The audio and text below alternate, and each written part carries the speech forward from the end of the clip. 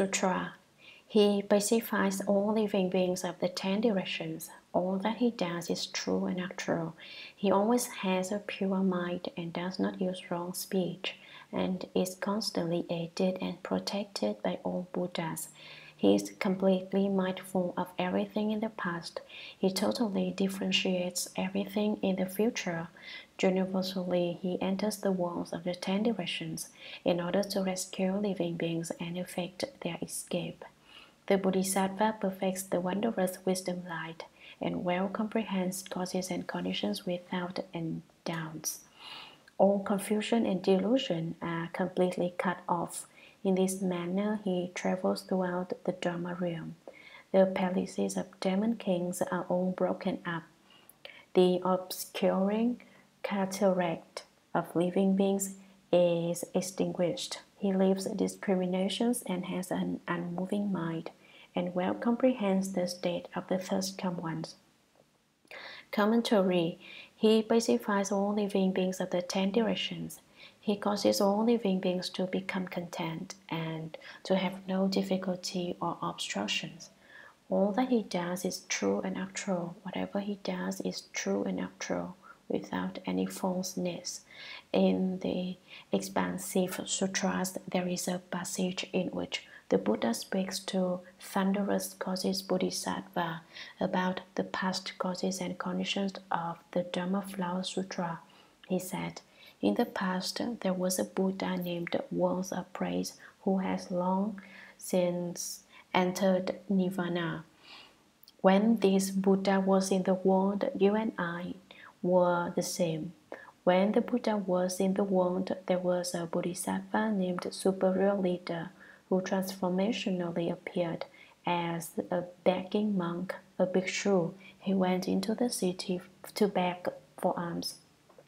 At the same time, there was another bhikshu whose name was always auspicious, who spoke to the begging monk, saying, Where do you come from? The monk responded, I come from the true and actual. Then, always auspicious, further asked him, What is meant by true and actual? The Bodhisattva superior leader, who assumed the transformational appearance of a begging monk, replied, The true and actual is characterized by still extinction. The bhikshu, always auspicious, again asked, Within that which is characterized by still extinction, is there any seeking or not? The begging monk responded, There is no seeking.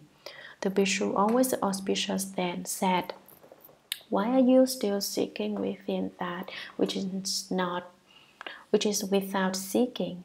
The begging monk answered, Because I am within that which is uh, without seeking. I want to seek. Always auspicious, Bhikshu again asked, Why do you still seek within that which is without seeking? The begging monk answered, All one seeks for obtains attaches to what is true, what can be spoken, what is asked are all empty. This is what is called the still extinction of nirvana, in which everything, including the world, is empty. Because these are progress, uh, progressively empty dharma. Within emptiness, I seek the true and actual. Always auspicious, Bhikshu asked, Bodhisattva, where do you seek the true and actual? The begging monk said, Within the six paramitas and the ten thousand conducts. After always auspicious Bhikshu heard the begging monk respond to him in this manner, he was very happy. He sold his own body and then took the money he received from selling it and offered it to the begging monk. See how people in the past, in their quest for Dharma, gave rise to the great Bodhi mind and made offerings to the Bodhisattvas and the Triple Jewel. He took his own body and sold it in order to make an offering to the begging monk.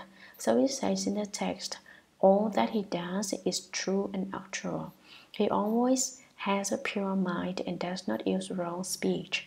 He always maintains a pure mind and does not speak contradictory words.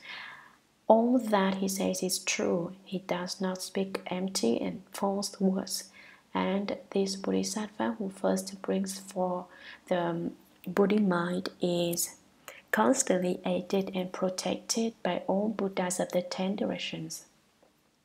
He is completely mindful of everything in the past. The Buddhas of the past are all also always mindful of the Bodhisattva who has first brought forth the Bodhi mind.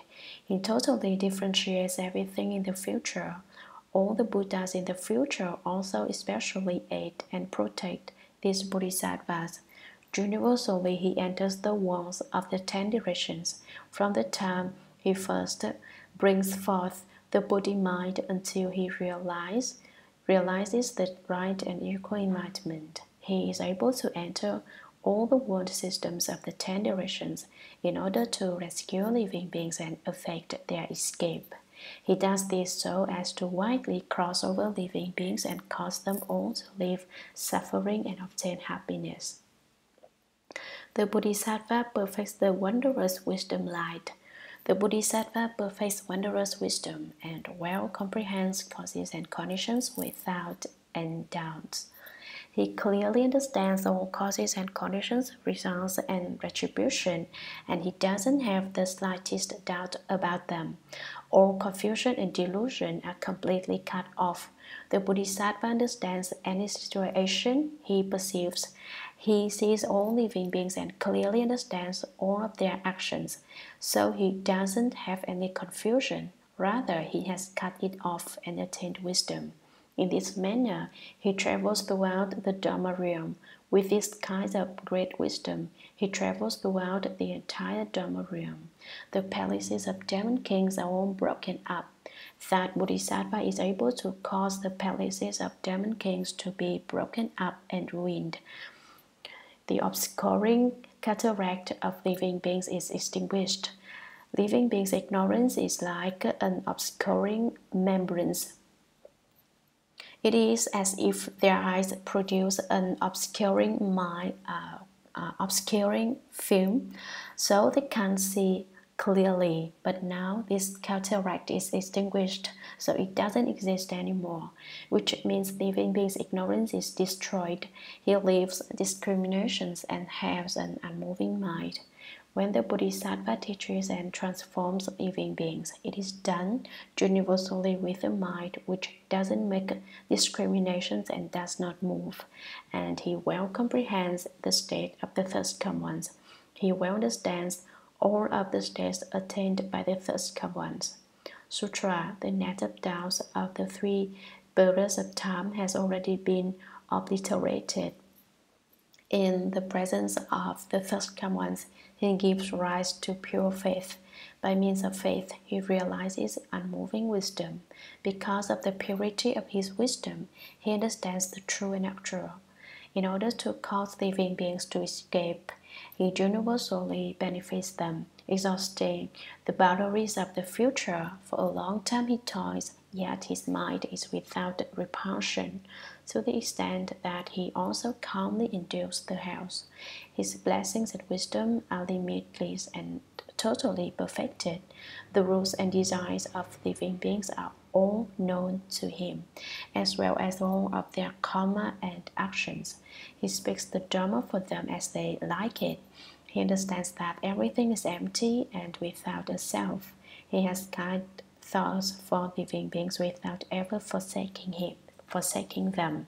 He enters the world everywhere and proclaims, a single subtly wondrous out a great compassion he emits great light of various colors, which universally shines upon living beings and eradicates their darkness.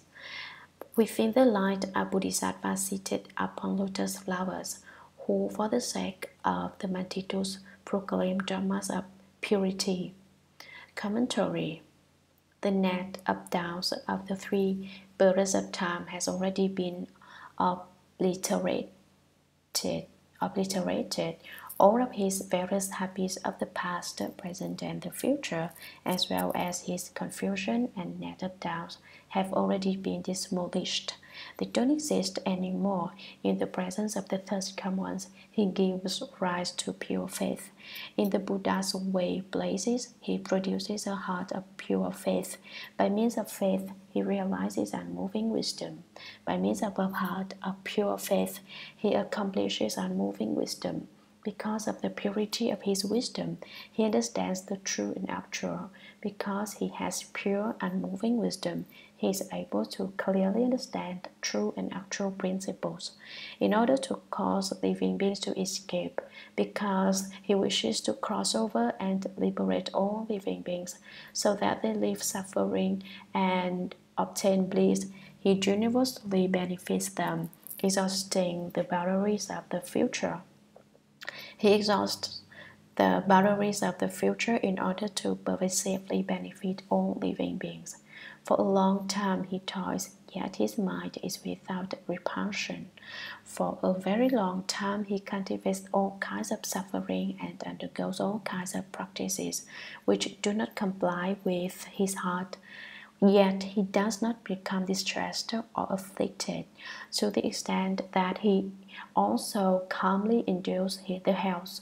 The Bodhisattva, for the sake of teaching and transforming all living beings, bears all kinds of suffering, so he is not afraid to go down to the house. His blessings and wisdom are limitless and totally perfected. All of the blessings and wisdom which he has cultivated are full and complete. They are totally perfected. The rule the roots and desires of living beings are all known to him. He also totally understands living beings' basic natures and what they desire, as well as all of their karma and actions. He clearly understands all living beings' karma and actions, and he speaks the Dharma for them as they like it. He speaks Dharma for living beings as they like it. He uses giving, kind words, beneficial acts, and identical work the four dharmas of attraction to teach and transform living beings. He understands that everything is empty and without a self. He understands that every single thing is empty and has no true self. Therefore, he doesn't have any attachments. He has kind thoughts for living beings without ever forsaking them. He always thinks of living beings with kindness and compassion and he never forsakes a single one. He enters the world everywhere and proclaims a single subtly wondrous sound of great compassion. He enters all world systems everywhere to speak the Dharma for all beings and uses a single greatly compassionate, subtle, and wondrous sound. He emits great light of various colors. He puts forth a brilliant great light which has all kinds of colors which universally shines upon living beings and eradicates their darkness. It shines upon living beings everywhere and dispels all of their darkness of ignorance. Within the light are bodhisattvas seated upon lotus flowers. Within the light, there are bodhisattvas seated upon great jeweled lotus flowers, who, for the sake of the multitudes, proclaim dharmas purity, for the sake of all living beings, they explain all of the pure, wondrous dharmas. Sutra. On the tip of a single hair, he manifests a multitude of kshetras, and all the great bodhisattvas fill them up. The wisdom of the assemblies are each different. All are able to clearly comprehend the hearts of living beings. Commentary The Bodhisattva who first brings forth the mind receives the great awesome spiritual power of all the Buddhas of the ten directions. On the tip of a single hair, he manifests a multitude of kshetras, and all the great bodhisattvas fill them up. He is able to manifest the Buddha kshetras of the ten directions, and all those Buddha kshetras are also filled up with all the great bodhisattvas. In each land is a pure oceanic assembly of great bodhisattvas the wisdom of the assemblies are each different. all are able to clearly comprehend the hearts of living beings. All of these bodhisattvas understand the thoughts in the hearts of living beings.